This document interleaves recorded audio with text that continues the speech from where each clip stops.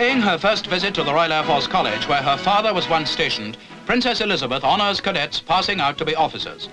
To Flight Cadet Under Officer Merriman, she presents the Sword of Honor for the best cadet. As he also won the King's Medal and the Downing Trophy, it was quite a day for him. But he must have had quite a bit of competition, judging by the smart turnout. It seems pretty clear that the RAF are keeping up the high standard that has won the respect of the world.